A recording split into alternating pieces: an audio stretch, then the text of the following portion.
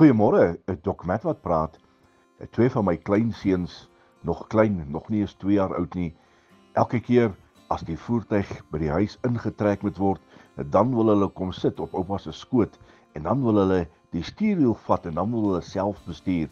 Maar as hulle op my skoot is, dan elke knoppie word gedruk, eh, elke skakelaar word aangesit, die ligte, die ruitveers, alles word aangesit. En as ek wegtrek, dan gryp hulle hierdie stuurwiel vas, dan wil hulle hierdie stuurwiel vat en gaan parkeer en in die regte rigting stuur.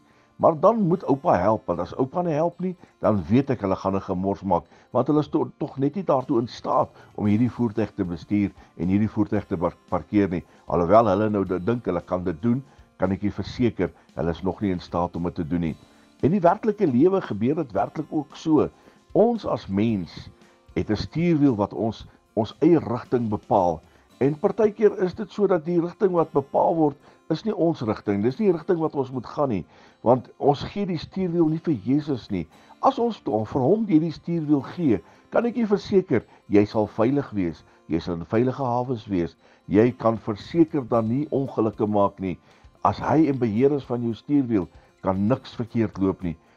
Kom ons hou op om self te wil bestuur. Kom ons hou op om self ons roete te bepaal en gee vir Jesus die stuurwiel.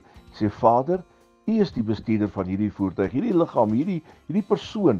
Bestuur U vir my asseblief en hou op om dit self te doen want Jesus is die persoon wat verseker, verseker jou in die regte rigting sal vat. Geef hom die geleentheid. Herlewingsgroete.